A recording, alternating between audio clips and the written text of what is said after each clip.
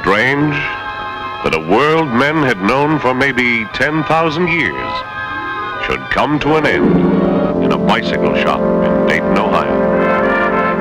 Here, sloping down to a point and fading into history, was the world of earthbound people. All the ordinary mortals, all the great souls and brilliant minds of the past. All of them since the dawn of time had lived out their lives on the ground. This was the end of that original world. The year was 1903. While the first age expired, a new one was coming to life, focused in the minds of two brothers, taking shape under the pliers, wrenches, and hammers that they worked with their hands. Inside the walls of their bicycle shop, Wilbur and Orville Wright were building the parts of an airplane. Like so many lesser events with great implications, hardly anyone knew what was taking place.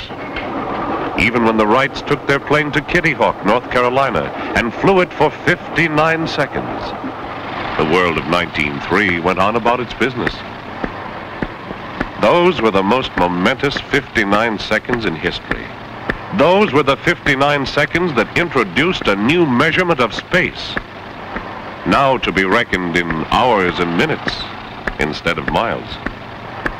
There was no great excitement, no vast wave of talk about the accomplishment, but perhaps a few keen ears heard far off in the sky the first whisper that was to grow into the drumming roar of the future.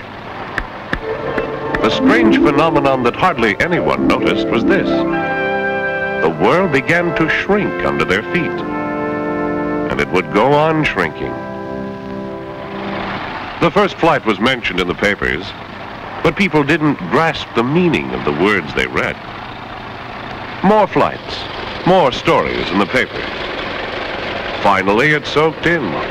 Men were soaring around above the treetops in flying machines. The people said to themselves, hmm, a pretty expensive sport. Here and there, others may have thought, might possibly be able to carry passengers someday, maybe even parcel post. Then the military took an interest, because this could mean new long-range eyes for the ground forces. Possibly, flying machines could be used to direct artillery fire also. In those days, it was hard to see into the future.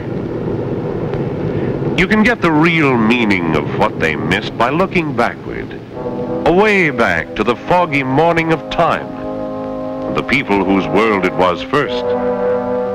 Even in those misty days, aggression had already been invented, and a man had to defend himself. To begin with, he was armed only with his own arm and his fist. Then he found that a stick of wood could make more of an impression. And he picked up a club.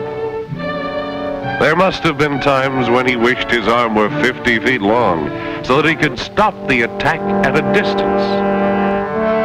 In time, those first people passed their world on to others, learned to put the power of an arm behind spears, behind arrows shot from bows, after a while, they developed gunpowder and guns. They had a fist that was eventually able to strike a shattering blow five or ten miles away. By 1903, it looked as though the big cannon might be the best weapon that would ever be devised. And now, here was the flying machine to give it eyes and help it strike even more accurate blows. At that, lots of people thought the military were wasting their time with the new contraption. The Army went against criticism and bought a few flying machines anyway. Then, something happened. An incident with a tin plate. A flying officer took a rifle up in the air with him and put holes in the plate on the ground. Tanforan Racetrack in San Francisco became the first spot on Earth be bombed from an airplane when they dropped a piece of gas pipe filled with powder and a three-inch artillery shell fitted with fins. Both missiles exploded and blew up the old concepts of warfare.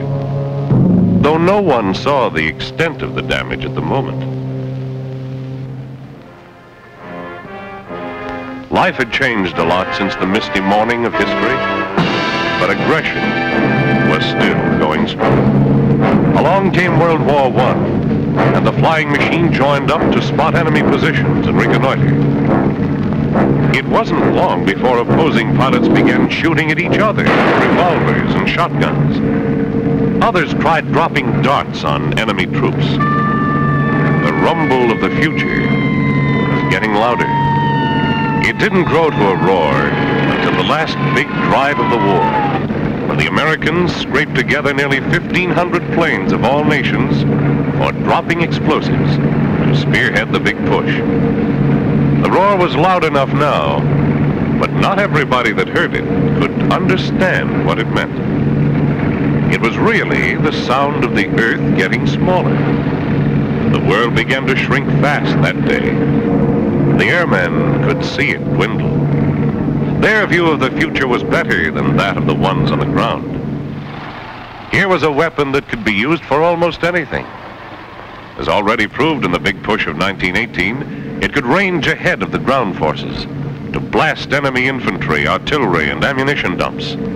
Well then, why not planes big enough to carry bomb loads even farther behind enemy lines and smash the attack where it was being organized? Then why stop there? If the factories and war installations of the enemy could be destroyed, the enemy offensive would be stopped before it began. In other words, cripple the sources of enemy power, political, economic, and military, by direct attack. By the time World War II was over, 42 years from the bicycle shop in Dayton, the flying machine had proved itself as a weapon that had no equal. The proof was spelled out in the rubble of Hamburg, Essen, and Berlin. It was written in the stark, flat aftermath of Hiroshima. The atomic bomb had blasted Japan to her knees before a hostile force set foot on her shores. But the bomb had been delivered over the target in a B-29.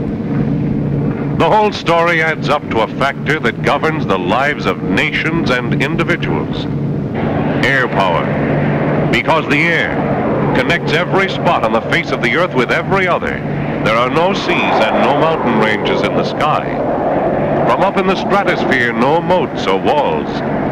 No place to hide. No boundaries more definable than time.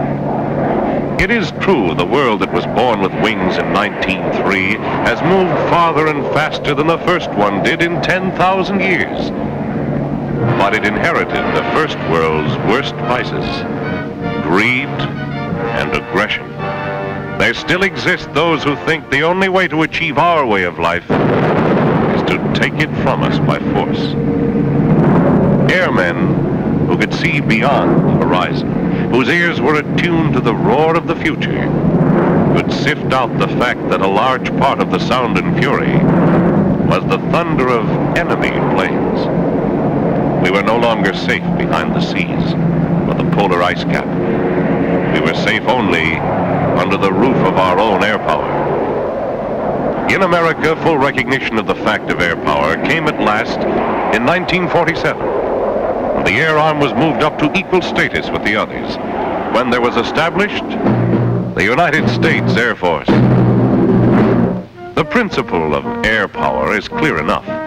But what is air power in fact? There have been enough books and speeches. Experts have launched armadas of words to explain air power. Most of the definitions add up to a sky full of monster planes. Is this all there is to air power.